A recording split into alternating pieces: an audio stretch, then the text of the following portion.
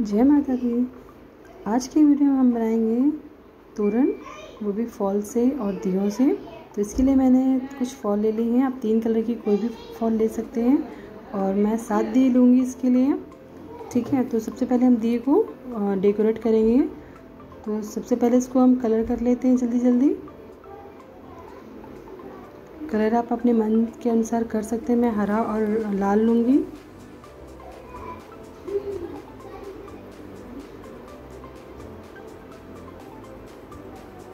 और इसे हम मन चाहिए डिज़ाइन से मतलब बना सकते हैं इसके ऊपर। या आप चाहें तो सितारे लगा लें।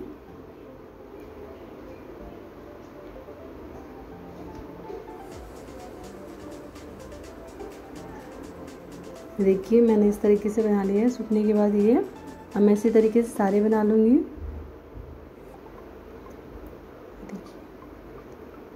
देखिए, सूख गए हैं। अब ये जो फॉल है, इसको मैंने आधा आधा कट कर लिया है अपने दरवाजे की लंबाई के अनुसार। और इसे हम क्या, जिसकी स्टार्टिंग पॉइंट है, इसे हम, मैं क्या धागे से बाँध लूँगी।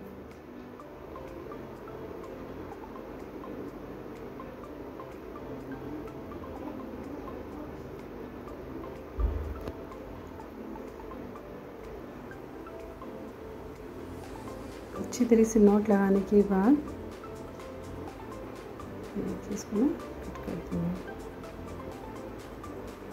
अब यहाँ से तो किसी चीज़ से पकड़वा मतलब रख ले किसी चीज़ के, भारी चीज़ के नीचे या फिर इस तरीके से पकड़वा कर आप इसकी, हमें क्या करना है, इसकी चोटी बनानी है। थोड़ी ढीली ढीली सी बनाए मतलब बिल्कुल टाइट नहीं बनाए।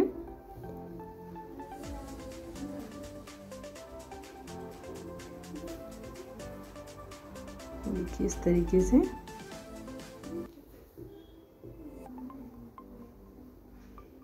पूरी चोटी बनाने के बाद फिर आपको दिखाती हूँ।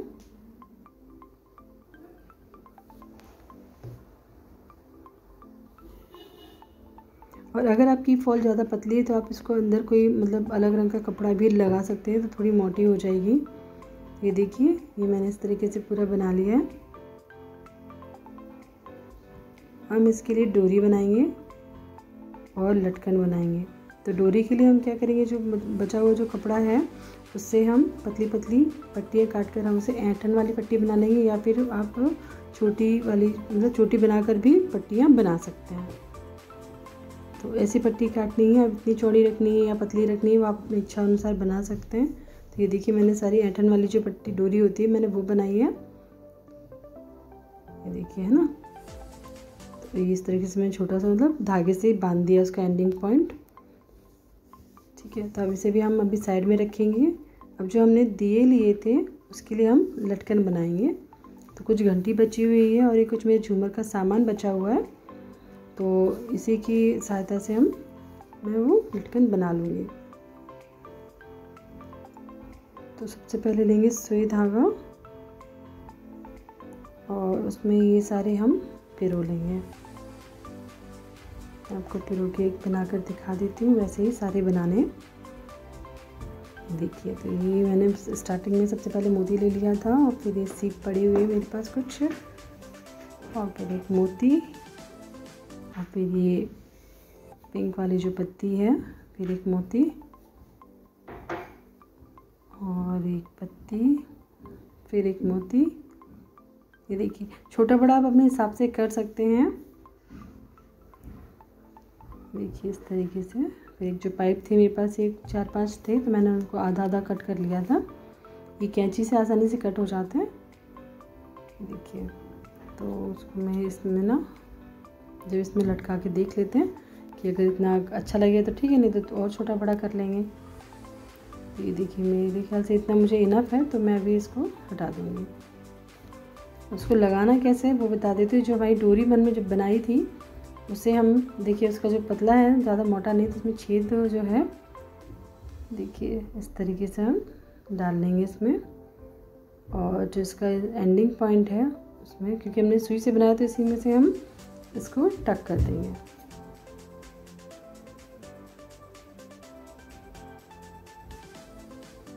देखिए तो इसको अच्छे से दो तीन बार सुई निकाल कर और हमें इसमें जोड़ देना है।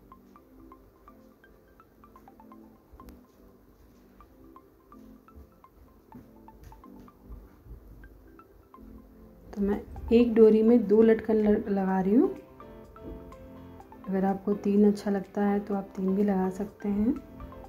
लेकिन मैं इसको ज़्यादा हैवी नहीं करूँगी क्योंकि दियों की मतलब जो वज़न है ऑलरेडी थोड़ा वज़न हो जाता है उससे।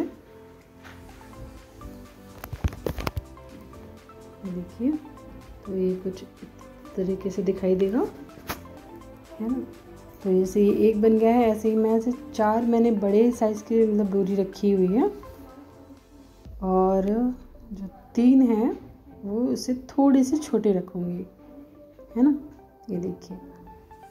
और डोरी में भी नाप आप अपनी इच्छा अनुसार रख सकते हैं।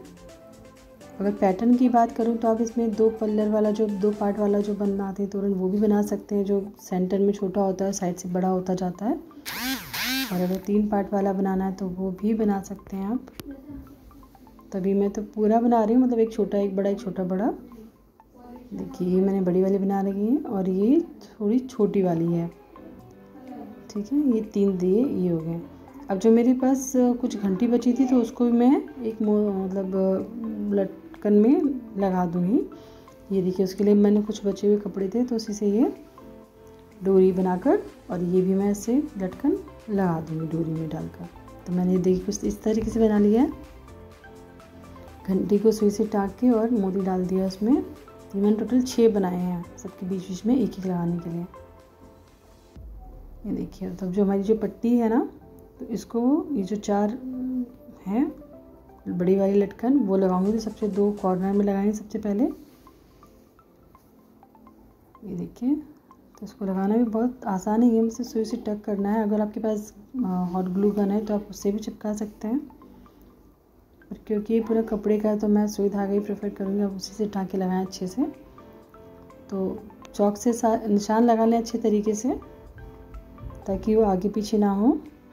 देखिए, मैंने ये चार लगा लिए हैं। अब इसके जो बीच बीच में मैं तो जो मीडियम वाली जो है, डोरी, वो लगाएँगे, है ना? और उसके बीच में फिर वो घंटे वाली। तो लास्ट में जो मैंने सारी तो लगा ली है जो लास्ट में जो धागा बांधा था, वहाँ पे क्या करना डोरी बची हुई है कुछ तो मैं इसे भी इसी में लगा दूँगी। और इसी से जो लटका, कील में लगाने के लिए हुक बनाना है, वो भी इसी से बन जाएगा। और कैसे बनाना, देखिए एक नॉट लगा ली है मैंने इसमें अच्छे से टाइट करके। ध्यान से देखिएगा। देखिए मैंने नॉट लगाई यहाँ पर। और इसको सेंटर से नहीं लगाना है, एक डोरी मतलब छोटी और बड़ी रखनी है। और जो छोटा साइज़ है वो तो नीचे रहेगा, जो बड़ी, बड़ा वाला कहाँ से हमें थोड़ा सा हुक बनाते हुए यहाँ पे इसको हम स्टिच कर देंगे, जहाँ में नॉट लगी हुई देखिए, है ना? देखिए इस वीडियो में दिखाई दे रहा है, इसी तरीके से इसको हम दोनों को टक कर देंगे और इसी तरीके से सारी डोरियाँ सेट कर देंगे। बनने के बाद ही कुछ इसका ऐसा लुक आ रहा है। आपको ये तुरंत कैसा लगा और ये वीडियो कैसी लगी प्लीज़ कमेंट में बताइएगा। वीडियो को लाइक और शेयर करें। प्लीज़ अगर आप मेरे चैनल पहली बार आए हैं तो मेरे चैनल को सब्सक्राइब भी करें। वीडियो देखने के लिए थैंक यू। मिलते हैं अगली वीडियो में, तब तक राधे राधे